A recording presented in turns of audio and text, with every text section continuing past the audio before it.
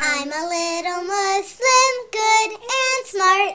Here are my books and here is my scarf. When you hear the prophet stories, hear me shout. Excuse me, I have a question. Learning together is the best part. Come on, everyone. Let's listen and learn from the prophet stories. That's right. And today we will tell you the story of Hazrat Ibrahim alayhi salam, or in English, Prophet Abraham, peace be upon him. Episode 3 The Father of the Prophets.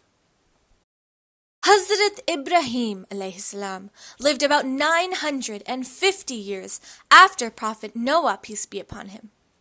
He lived in the town of Ur, which was located in Iraq. The message of Hazrat Nuh, peace be upon him, had been forgotten, and people had started to worship idols again. They also started worshipping the sun and the stars. This disturbed Hazrat Ibrahim, peace be upon him. How could people make statues with their own hands and then expect them to help? Hazrat Ibrahim salam's uncle did not like that he talked against the idols. But he knew what a noble and trustworthy person Hazrat Ibrahim, peace be upon him, was. So he gave him his daughter's hand in marriage. Her name was Hazrat Sarah. Once Allah appointed Hazrat Ibrahim, peace be upon him, as his prophet, he told him to talk openly about the ills of idol worship.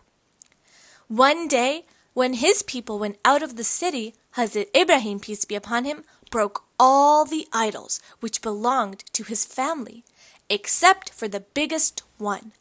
Then he hung his axe on the shoulder of the biggest idol.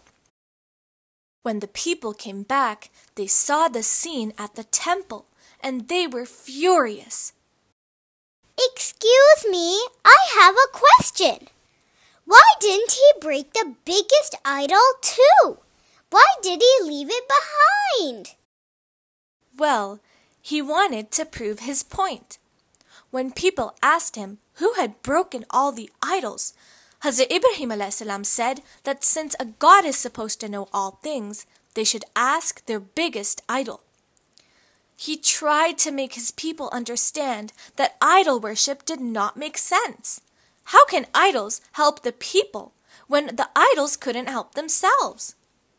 But the people ignored his message and started to make life difficult for Hazrat Ibrahim salam.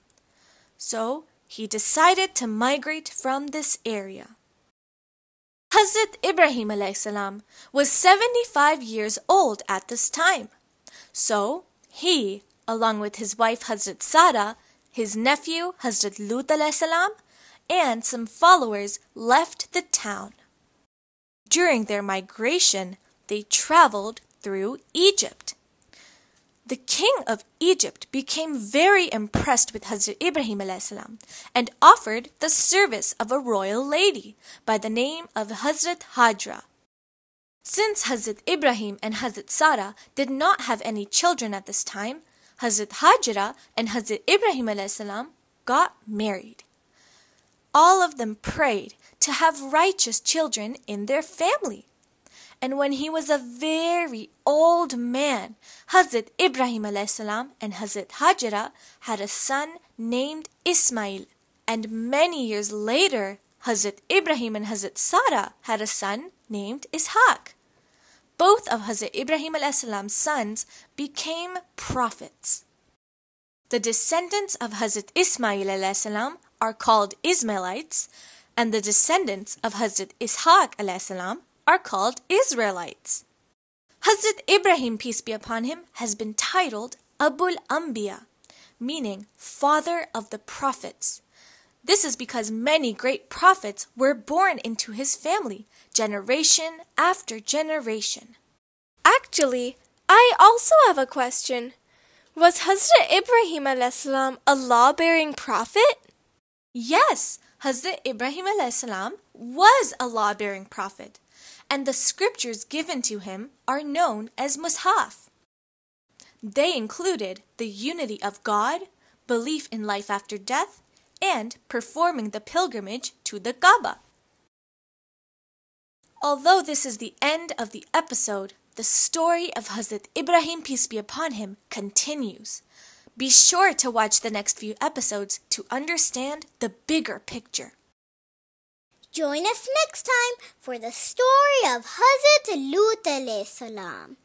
Until then, Assalamu alaikum wa rahmatullahi wa barakatuhu. Please subscribe for more episodes.